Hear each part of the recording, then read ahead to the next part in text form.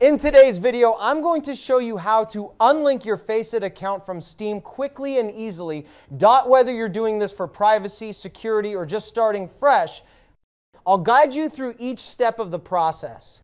Let's jump right in. Start by opening your preferred web browser and heading over to the official Faceit website by typing faceit.com in the address bar. Once you're there, sign into your account using your login details. Make sure you're accessing the account that's currently connected to the Steam profile you want to remove. If you aren't logged in, you won't be able to make any changes, so this is an important first step. After logging in, move your mouse to the top right corner of the screen and click on your profile icon. A drop-down menu will appear select account settings from this list.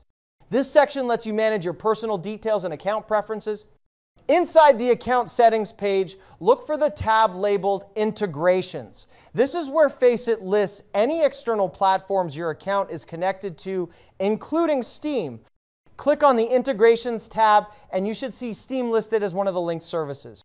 To proceed, click the turn off button next to the Steam integration. This starts the process of disconnecting the two accounts. Don't worry, you'll get a confirmation prompt to make sure you're doing this intentionally. Click Confirm to finalize the disconnection. However, there's something important to keep in mind. Sometimes Faceit won't allow you to fully unlink Steam just through the settings menu.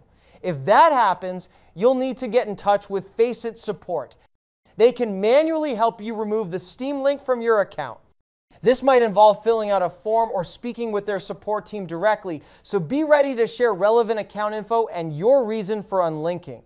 And that's it, a simple walkthrough for disconnecting your Faceit and Steam accounts. Keep in mind that getting help from support may take a little time, but once it's done, you'll be fully unlinked. Thank you for watching this video.